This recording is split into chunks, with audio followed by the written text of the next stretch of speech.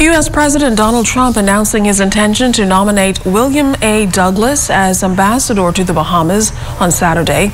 Douglas, an entrepreneur and philanthropist, is the second person to be considered for the post since Trump came to office nearly four years ago.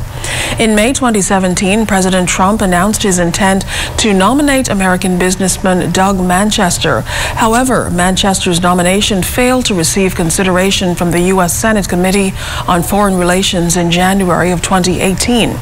Nicole Avant was the last U.S. ambassador to the Bahamas. She left the post in 2011.